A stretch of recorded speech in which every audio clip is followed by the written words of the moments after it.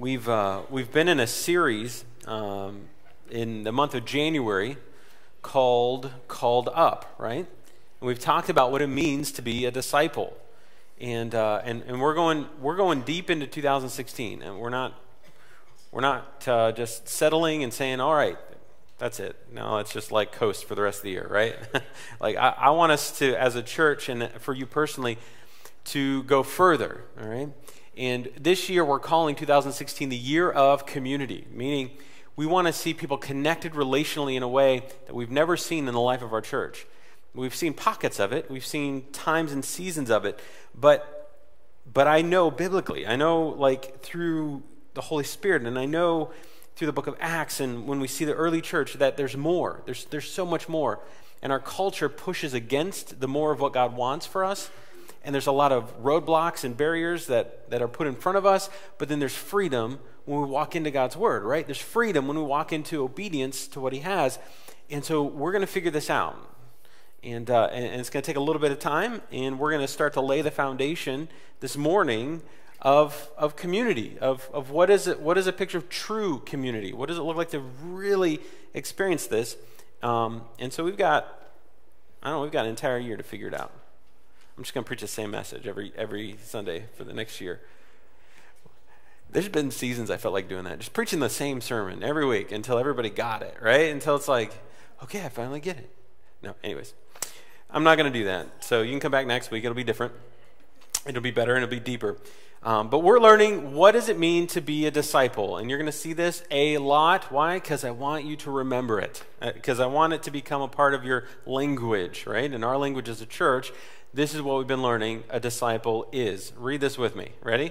Disciple is someone who is surrendered to God, changed by the Holy Spirit, and living as Jesus. Now, if you didn't join us during the last series, go back and watch all these sermons because they were good. And they were they were good when we uh, really unpacked what these things mean and what they look like.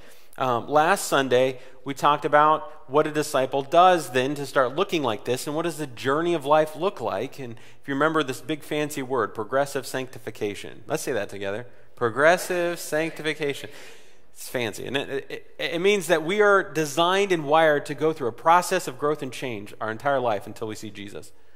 That, that, that the Holy Spirit is transforming us and making us more holy, which means making us more into the image of Christ Himself and in that journey, it looks like a roller coaster. we, have, we have our ups and things are great, and then something comes into our life, sin or a trial, and then we feel like, what in the world is going on? And we feel a downhill in life. And it's important what we do in that process to find new truth, apply new truth, transform our mind, uh, confess, and then continue to put off the old self and put on the new, right? We talked about that last week. Was that good for you guys? I'm just wondering, okay, I, for, I was hoping for some of you that would be an aha moment of, oh, that's why I felt that way during that one season. or that's why I feel this way now, you know, whatever it might be. Um, so if you missed last week, I would encourage you, you need to go back. It's it, for, for what I believe of what we've done over the last four weeks is really set the foundation of what it means to be a, a disciple. I mean, what does it mean to be this, this Christ follower? Like, what is, how does even this work? Well, well, we're going to go a next step in this of figuring out what it means to be a disciple because we're talking about the difference between coming to church and being the church. It's easy to come to church, right? When you use that language, you say, Oh, I'm going to go to church this Sunday. It means you're coming to a one hour time slot or two if you come and serve one and then come to, to the second or however it might be. Um, and then you're going to go home. That's what it looks like to come to church, right? It's come, experience, go. Come, experience, go. Come, experience, go. And, and just so you know, we do that every week. Sundays come with great regularity. Did you know that? Like, seems like they're always happening Sundays. Um, but it's different to, to instead of just coming to church and then going home, it's a lot different being the church. And sometimes we mess up the two. And we get confused about what coming to church and thinking that's a part of being the church, which is a part of it. Um, but the being the church is, is a much bigger thing. It's a much bigger thing that we need to understand biblically.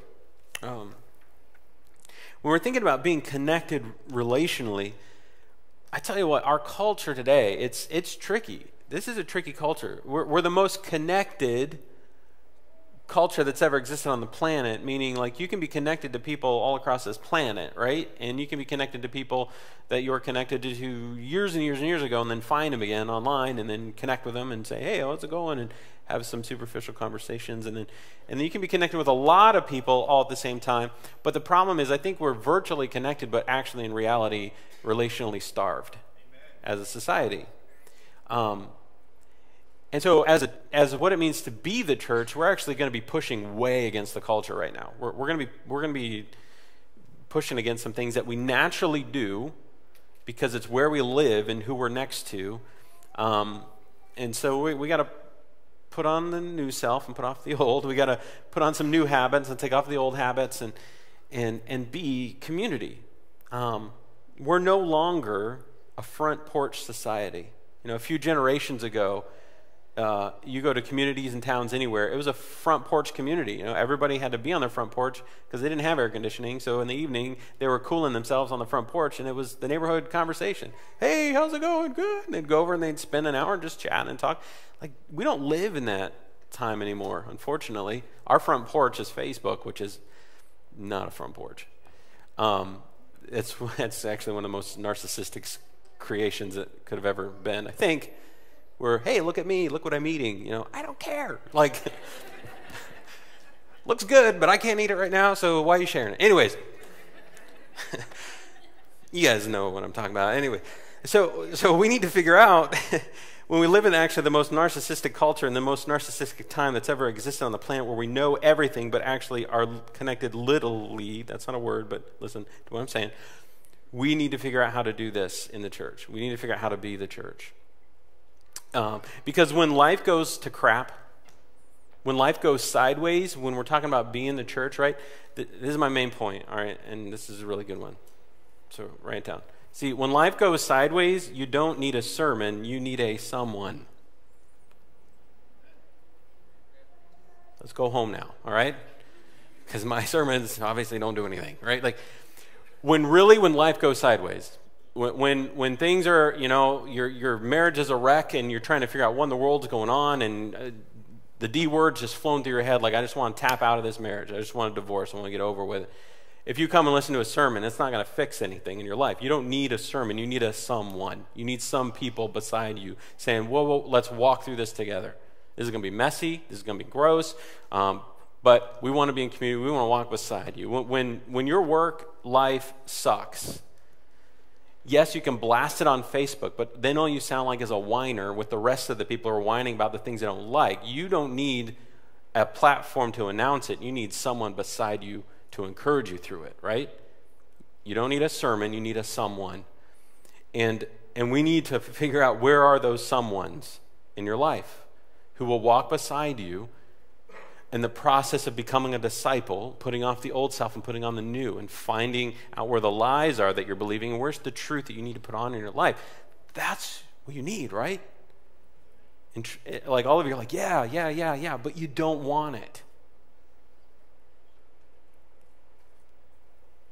And that's why we're going to go through this for the next month or so. Because I can't fix this in one sermon. I can't tell you, this is how you want it, and this is what you don't do. I wish it worked that easily. I just know there's things that I got to work out. There's things you got to work out. There's things we need to understand biblically. Let's figure out how to not just fix each other with a sermon, but how can we find the someones around us so that we can really understand what, um, what this whole idea of community looks like. So, if you have a Bible, last week we were in Ephesians chapter 4. This week we're going to be in Ephesians chapter 4. We're going to hang out in the same chapter. Um, this is probably my favorite chapter in the whole Bible because I, if you just read this chapter, you could figure out what it means to, to do this whole disciple thing, okay? The second half, last week, the second half was what it looked like to be a, a disciple of like putting off the old self, putting on the new, the process of growing and change and becoming more like Christ, right? That's what we talked about last week in the second half of chapter 4. The first half of chapter 4 is hugely important because it comes before the second half for a reason because it spells some things for us that we need to understand in order to experience the second half, what it, what it looks like to grow and change. So we're going to read the first uh, part of Ephesians chapter 4, and we're going to just this is just introduction, so we're not going to go super, super, super, super, super deep into it, but I need to just paint the picture for you, okay? So let's get into Ephesians chapter 4. And if you have it and you're with me, say, yep. Awesome. So here we go. And if, if you're new to New Hope and you don't have a Bible, I say this every week because we always have new people here. We have Bibles in the baskets right there as you walk in. Bibles out on the uh, Welcome Center, Info Center. Grab one, take it home with you, put your name on the inside of it. It's yours. All right? We just, it's our gift to you. It's important for you to read it on your own. That's, that's what it means to be a disciple. It's to get into God's Word on your own and, and let God speak to you through it. Um, so this is this is what it says here in Ephesians 4, starting in verse 1. This is Paul talking to the Ephesians, and he says, As a prisoner for the Lord, then, I urge you to live a life worthy of the calling you have received. Be completely humble and gentle. Be patient, bearing with one another in love. It says, Make every effort to keep the unity of the Spirit through the bond of peace. There is one body and one Spirit, just as you were called to one hope when you were called. One Lord, one faith, one baptism, one God and Father of all, who is over all and through all and in all. What does everything have as existence through? It is God. God is in all, of all, through all, like God is, He's all. He, he's the big all. Okay? Now, these first few verses, give us a picture of some things that we're called to, right? You'd see this phrase a lot through this. You're called to this, you're called to that. There's a calling in you.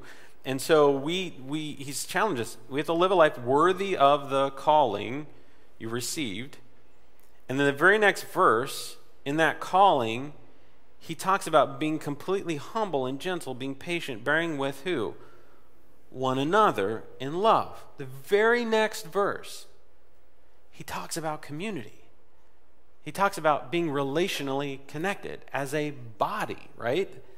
That, that you are called to be connected. You are called to be humble and gentle and patient and bearing with one another. Have you ever had to bear with one another?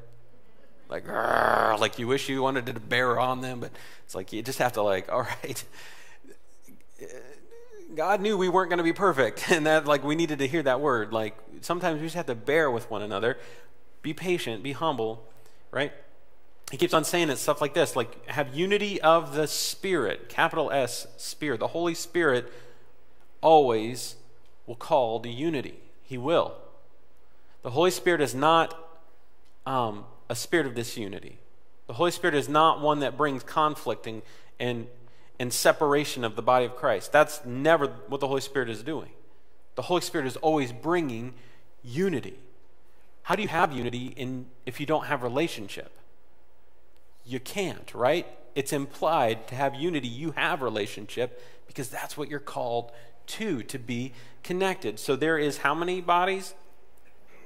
One body. Now, we're going to look at that a little bit in the second part of this. But I just want to set the foundation here. You were called to community.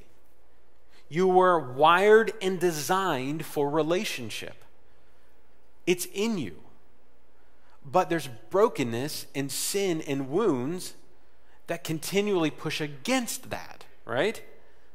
Because we felt some of the hurts of relationships. We felt those times where we had to bear with somebody. We, we, we experienced the frustrations and the hurts and the hangups because people wounded us or we wounded them, and now we walk with guilt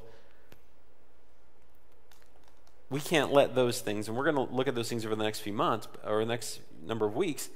We can't let those things be the hindrance of the calling that is on us as a disciple of Christ to be in unity, to be connected, to be relationally connected. We see this all throughout the scripture, and I'm just going to I'm going to read these real quick to you, okay? Because in in just the New Testament, this is what we see all through we see these what I call the one another's of the Bible where we're called to do something with or for one another. And, uh, and so you can write these down if you want, if you have like super fast and it's going to smoke when you start writing. Because here's all the love, all the one another's that we see in Scripture in the book of John. We're supposed to love one another. We're supposed to wash one another's feet. That's awkward, right? Like, that's just the idea of serving each other, right? Like, you need to be humbly serving. In Romans, be devoted to one another, give preference to one another in honor, live in harmony with one another, do not judge one another, accept one another. In Corinthians, it says, agree with one another. There should be no divisions among you. That same thing. There's, we don't have a spirit of division, spirit of unity. Wait for one another, have equal concern for one another. In Galatians, it says, serve one another, do not provoke or, or envy one another, bear one another's burdens and then in Ephesians, where we're reading now, show forbearance to one another, build up one another, be kind and compassionate to one another, forgive one another, speak to one another with psalms, hymns, and spiritual songs, which is cool because we do that on Sundays. But we should also do that in community, in small. Anyways, I could preach a sermon for every single one of these, but I don't have time. In Ephesians, again, submit to one another. Do not lie to each other. Teach and admonish with all wisdom Thessalonians, encourage one another, build each other up, be kind to one another. Hebrews, stimulate one another to love and good deeds. The book of James says, do not speak against one another. Don't complain against one another. Confess your sins to one another and pray for each other. Uh oh. Shut your mouth. Right? Like, I ain't confessed to one another? Ooh, that's messy. First Peter, keep fervent in your love for one another, be hospitable without grumbling. The Bible's so right on, just so you know. Like, have you ever been hospitable, been like, why are they coming over? You know, like, all right. Some of you small group leaders in this room, you're like, mm, I had to clean my house for this. What? Anyways. And then it says, clothe yourself with humility toward one another. We, it, I could spend an hour just proving to you, right, that, that we're called to be with one another. That's how we're wired. That's how we're designed. That's how God made us. And, uh, and that's what He desires. Why the heck don't we do it? You know, why, why do we push against it? Um, let's keep reading, okay? Uh, we're going to skip down to verse 14 now. Because then, then there's some new language and some new imagery of what it means to be connected. He talks about, before we get to this, he talks about the role of a pastor. If you want to read that, you can. It's to actually equip the saints to do good works, right? That's, that's the role. So that we're all together, serving together, using what God gave us together. And when that is accomplished, then we will no longer be infants, tossed back and forth by the waves, and blown here and there by every wind of teaching, and by the cunning and craftiness of the people in their deceitful scheming. Have you ever felt that in your life? Verse 15, instead of that, right? Speaking the truth in love, we will grow to become in every respect the mature body of Him who is the head, that is Christ. They start painting this imagery that, that instead of being infants, being tossed back and forth, experiencing all this crazy stuff, we're, we're going to speak the truth in love with each other, right? And then we're going to grow to be a mature body now, a body needs a head, right? Like my body without my head is dead meat, right? Like I, I just, you can't exist without a head. And so, if we are going to be a body, we have to have a head. The head is Christ. Christ is the head of the church. And I'm not saying like he's the head of New Hope, he is, but he's the head of the church. Like across this whole planet today, billions of people worshiping Jesus, the head of the church.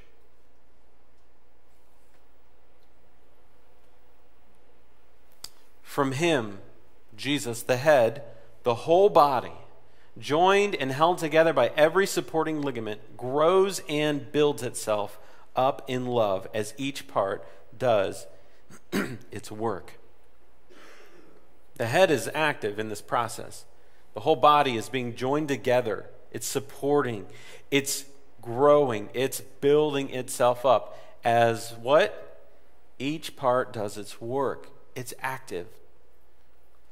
A body that's not active gets fat and lazy. A body who is active and moving gets stronger and more powerful, right? And we're using this imagery of the body of Christ as Christ is the head, we, we need to understand that, that we are called to be connected to that body. We are. And in that process of being connected to that body, there are some things that will happen. One, we will no longer be infants. We will be speaking the truth in love. We will be growing. We will become mature. Right? We'll be growing, we'll be building the whole body working together. There's some good stuff. There's some good fruit that comes out of actually living the way God called us to live. And, uh, and we need it. So here's what I'm saying. When it comes to this whole being connected in community and relationship with people who are part of your church, right, your community, um, there isn't an A or B choice box. Like, I'm a, I'm a disciple of Christ. Um, mark which one you want. A, to be relationally connected with people, or B, just to do this by myself. There is no B in the scriptures. It doesn't exist. Because if, if you are disconnected from the body, well, let me ask you this question. this is kind of graphic, but I've kind of already said it. I didn't mean to say it, but like, what is a body part that's disconnected from the body? It is dead meat, right? like, if my hand is cut off and no longer connected to the rest of my body and it's over there somewhere, the longer it is disconnected from my body, the more gross it actually gets, right? And the more, uh, like, this is gruesome. But there's some people who think they're Christians who are chop themselves off from the body, and their life is not looking all that what God called them to look like because they've amputated themselves from the calling that God put on them, which is to be relationally connected. There's another piece of this. A body part disconnected from the spiritual body is also dead meat for a different reason, and it's a spiritual reason. If you're unconnected, you're dead meat. Your enemy is, right? The enemy, the devil, prowls around like a roaring lion looking for someone to devour. This passage right here, the words in it have a very specific meaning. Do you know how a lion prowls around and what a lion looks for to kill? The straggler, the one that's kind of away from the herd, the one that's kind of like, oh, that's an easy target. They don't. They want to exert as little energy as possible to get as much meat as they can. That's that's the goal of a lion, and they just lay around lazy the rest of the time, just making loud noises. And so you have now Satan, the our enemy. He's not looking for a group to devour. He's looking for what? Someone. He's looking for the one that's off by themselves, disconnected from the body, and he can devour them however he wants. They're dead meat, spiritually speaking, and open themselves to attack. And I see this all the daggum time, and I just want to, oh my gosh. I've, I've been in ministry for like 17 years. I mean, I've been doing this a long time, a long time. And I see people show up at church. I'm really excited. Wow, this is awesome. Sunday morning, really excited about this. We're going to come. We're going to plug in. We want to get to know people. And then, like a month later, they're gone. And I have no idea where they're at. And then I see on Facebook, wow, my boyfriend, blah, blah, blah. And I hate da, da, da, da, da. And I'm like, you're just letting the enemy just devour you because you're not connected to the body that would feed you and encourage you and help you put off and put on. That's what happens. That's what happens. That's what the enemy is looking for someone to devour. So, have I scared you enough to stay connected? that wasn't my goal as I'm sitting here. I'm like, okay, I'm freaking him out now. Like, oh, oh it's like guilt. I got to stay connected or I'll die. You know, like that's that's not that's that's not it. It shouldn't be your motivation. Like, like well, I don't want to be the dead meat. I just so I'll just do whatever he says. And that's manipulation. All right, so that's not my heartbeat. But here's what I do know that that that if you are a true disciple, meaning you're really walking after God and you're really following Him, you will always be growing. A true disciple does not flatline or land in the pit and stay there. A true disciple stays connected to the body and stays connected relationally and experiences that pattern of growth and change in their life, and they will, they will always be growing. And there is all throughout Scripture language, and I'm going to show you a picture here in a moment, that helps us understand that there are seasons of growth. There is a pattern for spiritual growth. And then there is there are steps to go through in that process. We see even in the language in, the, in Ephesians here, the first 14 says, Then you'll no longer be what? Say it with me. Infants. So there's this imagery that, that there are infants in Christ. There, there are those who are just brand new and they're just figuring this thing out. They're like, I don't know. I just know I feel different. I know that like things are changing, but you're an infant in Christ. That's awesome. That's awesome. But then we see in 15, there's, there's something else. There's speaking the truth in love, we will what? Grow to become in every respect the mature body. So there's a mature process, right? There's, there's going from an infancy and maturing in your spiritual growth, always connected in community. Because that's where you will experience the growth you need to experience in community, in relationship with each other. And so I'm going to show you just this is the teaching part of the sermon, okay? Because I've been using lots of graphs and stuff, and it seems like when I start teaching on that, you're like, whoa, you know, like I didn't understand that. But we've used this a lot actually in the life of our church, and we're using it more and more. And this year, we want everyone to understand that this is this this, this is the life cycle of what it looks like to be a disciple and your growth in your walk with Christ. And too many people get hung up on the journey and stay in one place. So in the language that we just saw, infancy, maturity th- this is what it looks like to be a disciple, okay? So we see here, it starts here and it goes around this way. And I call this the discipleship wheel. Like I could spin it. I can't. But this is the spiritual journey of what everybody goes through. There's a season in your life where you're, you're spiritually dead. Like you're not connected to God and and you're just you're living for the world you're living for yourself right? Like when you're apart from christ there's nowhere else to live for just you're living for yourself. Um, i love it when people start saying i don't know i wanted to seek god or I, I, felt like god was telling me to do something i didn't know who this god is but i felt like i needed to like go to church or i needed to ask some questions of some of my friends and i'm like trying to understand this where people start to experience god pulling them into his presence. Man that's that's his grace and mercy taking us from death, just living for ourselves, into salvation. That's that moment where you confess and proclaim, you know what? I know Jesus is my Savior. And that the center of the gospel is that He paid the price for me to be forgiven forever. And so you experience salvation. You, you, you experience this new birth in your life, like this new, what is God up to, and He's changing you. That's exciting. I mean, I love seeing that. That's so exciting. And many of you in this room have experienced that probably in the time you've been a part of New Hope, that salvation. So when you get get saved, it's such a churchy word. You get saved. Like whenever God saves you, right? Sorry. Did I wake you up? That wasn't your hearing aid, by the way. That was the speakers. Um, you become an infant in Christ. Like you're brand new to this thing. You're like, I, I, I'm trying to figure out all this stuff, and we use the word ignorance. Like you're ignorant about what all the truth is and what your life should look like. And so, as an infant in Christ, you're just trying to figure out what the new truth is. Like, how? What am I supposed to do? What does this look like? And how do I do this whole Jesus thing? I don't know, but I'm trying to figure it out and this is not a put down of ignorance, is a real baby who's actually been born ignorant?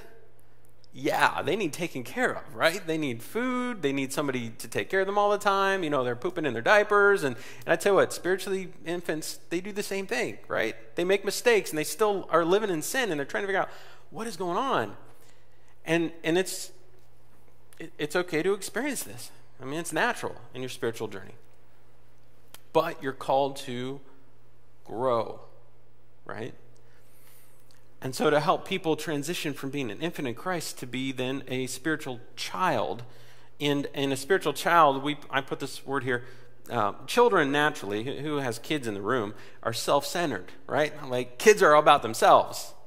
And that's natural because they're kids. You know, they're just, they're like, of course somebody's taking care of me. Of course I'm, you know, somebody else is making sure I'm, I'm dressed right because I have no idea what to pick out. And of course I'm, you know, expecting them to buy me Legos and the latest games. Like, of course I'm, you know, like, it's just, they're consumers. That's what children are. And, and they're spiritual children who, who are self centered and not in the sense of like it's evil, but in the sense that they need somebody to feed them. They need somebody to help them with new truth. And, and so their existence in the life of a church body would be more about receiving from others. And that's, that's okay for a season. That's okay for a season. Unfortunately, a lot of Christians stop there. The point of the church is for me to receive and to consume and receive and consume and receive and consume. And, and those people, when they stay there, become the most opinionated people because they'll have an opinion about everything that they didn't like of what they were told to consume. It's okay for a season. But what is a disciple supposed to do? A disciple is supposed to grow. Okay? So, our job as a church body altogether is to help spiritual children become spiritual, what we say, young adults. Young adults starting to be a little bit more, you know, active. They're, they're, they're becoming less self centered and they're seeing that they've, they've been gifted. They can do things, they can actually offer things.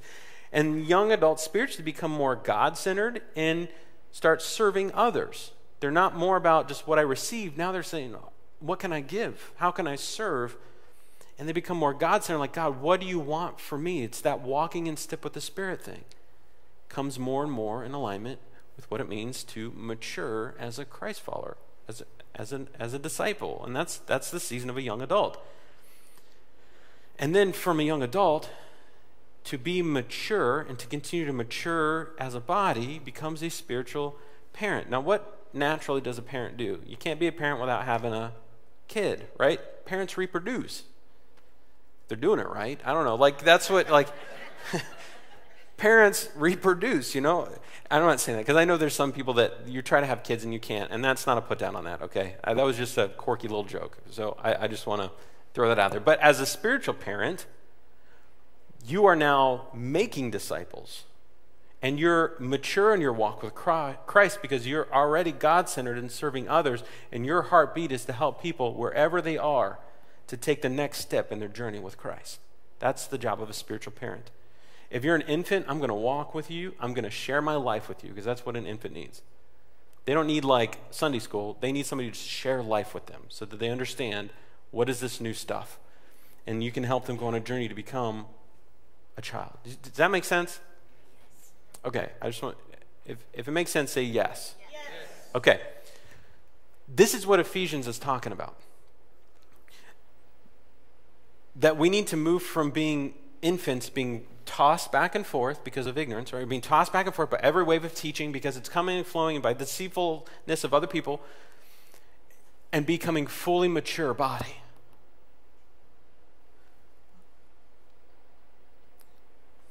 This doesn't happen by coming to church and going. Because that's not how God designed and how He wired us. Too often, the church has been the place where you come and learn, and then you go and try and figure it out. And, uh, and that maybe the classroom model of church, right? It's going to be a great sermon. You're going to learn great things. Now go back and do it. But if you don't have somebody beside you saying, let me, let's, let's help each other, because I don't know exactly how to do this. Because I know the ickiness in my life, and I see the ickiness in yours. So, like, how can we help each other, right? Like, how can we help each other figure this out? We are meant to be in community. We need to help each other find new truth, apply new truth, rejoice in new truth, and experience the, the process of growing spiritually together in community. That's what we're called to do. Growth and change happens most in community when you're in circles with other people, not when you're in rows looking at the back of the head of the person in front of you. I'm a pretty good preacher, I think. But you don't need more sermons, you need a someone. And that's why we're calling this the year of community. Because we want you to have some someones in your life to do this with. But there's roadblocks, right? trust, vulnerability, time, busyness. There's lots of roadblocks that we allow naturally into our life. But we need a place to know and to be known. And so let's figure this out together. Next week, we're going to look at, at some of those roadblocks because the tension in this roadblock actually started with Adam and Eve in the garden in the relationship with God, where they really knew God and then they sinned, and then they didn't want to be known anymore. And, uh, and so we're going to talk about that next week a little bit. Where, where, what are the roots of that? But this week, I just want to encourage you to ask a couple of questions um, of yourself. One, are you willing to do what it takes to be connected? And two, what holds you back from letting others in? What are those walls, those roadblocks from really knowing and being known? Um, God, as we go down this journey as a church, and as we put on these new truths, uh, first, just I don't want us to worry about numbers. I don't want us to worry about how many people are at church on a Sunday. That's that's actually the least of your worries, God. I mean, you want to see people saved? Yes, that's your desire. Your biggest worry is that people aren't in circles and people aren't being known and people aren't walking alongside other people on the journey of growth and change. So help us own this this year, God. Let this be the year of community in our church, God. And that it would start here. That it would start with me. Open our eyes, Holy Spirit, to the things that hold us back from it, from the hurts or wounds or, or issues in our past that uh, push against this truth, that push against um, what you desire for us.